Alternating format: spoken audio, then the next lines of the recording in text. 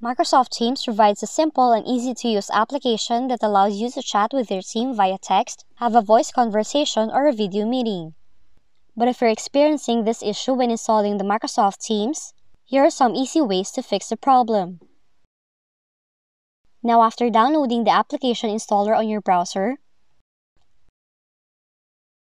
try to open the file location of the installer.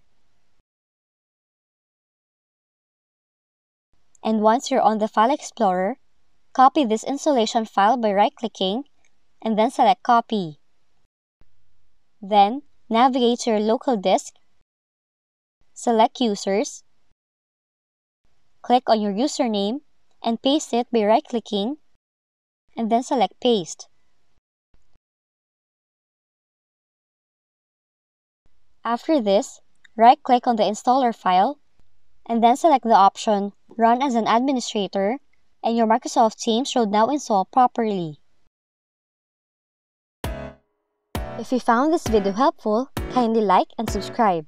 You may also click and turn on the notification bell so you can be notified from whenever we release new videos.